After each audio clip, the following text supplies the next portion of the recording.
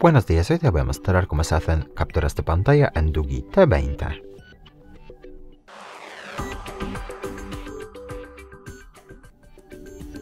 Existen dos maneras de hacer capturas de pantalla en este dispositivo. La primera es mantener presionados el botón de encendido y bajar el volumen al mismo tiempo. De esta manera.